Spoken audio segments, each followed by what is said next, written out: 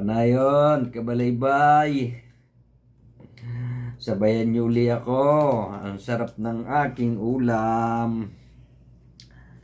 Meron tayong asado, asadong manok, at saka may pangimagas tayong saging. Aking paboritong sile. You know? Yan. Kain tayo.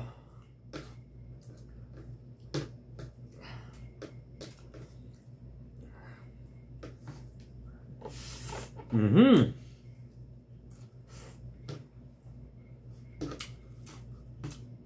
Sabayan nyo na yung kabalaybay. Napakaayos na rin.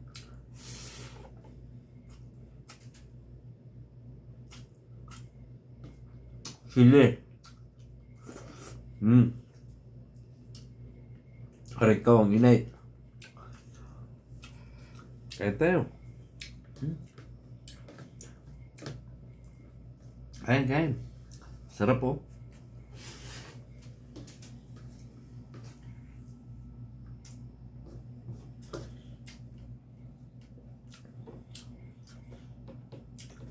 Bakit ang sarap kumain ng naka nakakamay? Gagaling sa ako. Ha?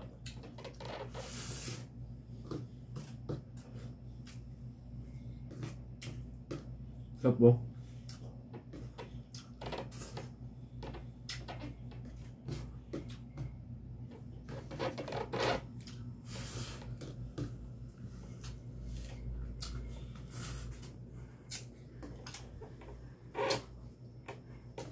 Ben niyo ako. Para sarap kumain.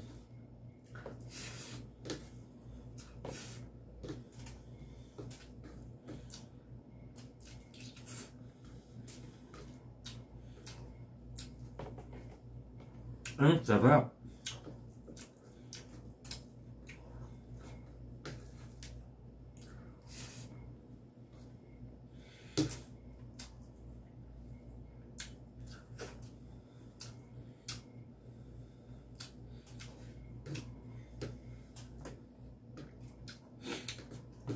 쑥쑥 빼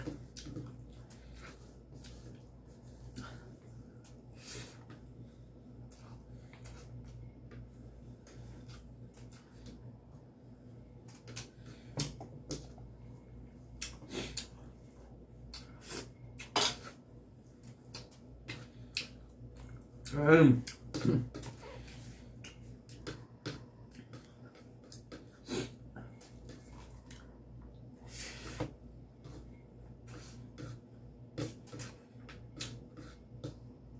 Yung mga bata ngayon, puro kutsarang gawin. Hindi kamukha nung kami, mga bata pa.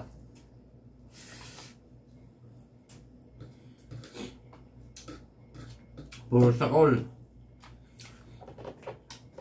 Nakakapagkutsara ka lang pag sa mga baysanam.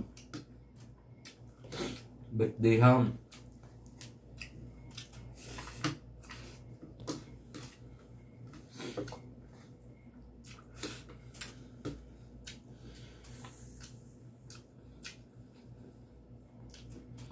Ang pagkakalambot. Ay.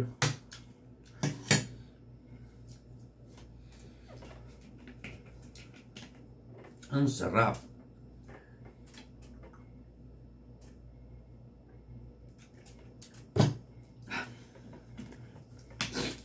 Tanin nyo na ma'am.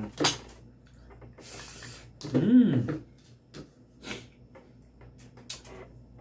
Kunti pa.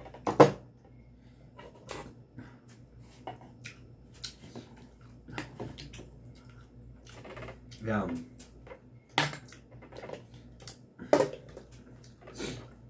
Kasi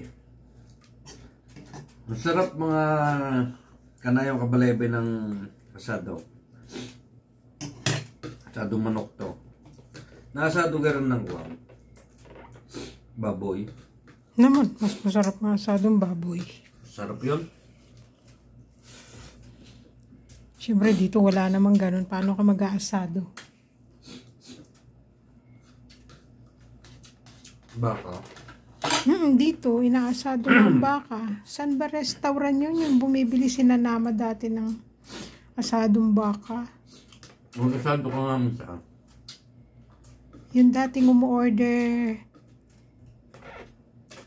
Ang sarap ng asado. Promise.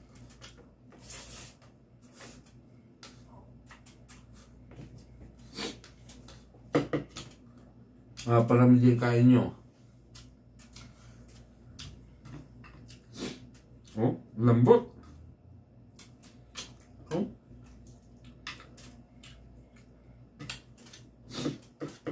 Sarap pa rin. Pulutan at pangulam.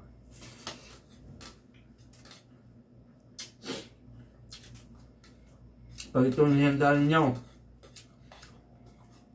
ulang pa isang kabang. Hmm, gano'n naman kadaming tao mapapakain mo sa isang kaban. Aba, ay baysanan ay. Ay pag sa amin sa Quezon, Batangas, ay kulang pa ang isang kaban mo. Sa laki ng pamilya namin. Bawat kundo sa malalaking pamilya. Bawat apelido. Yan, tayo papanghimagas pa. Ano mo na, is ka na yun eh. Kadami na nakain ng misaging pa eh.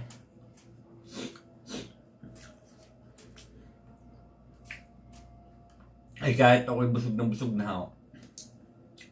Talaga hindi makakakuha ng sagay. Hmm. Ang sarap. Ang sarap.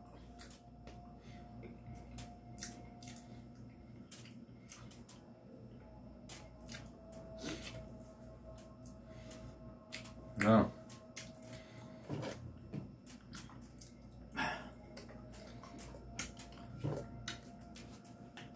Marami pong salamat.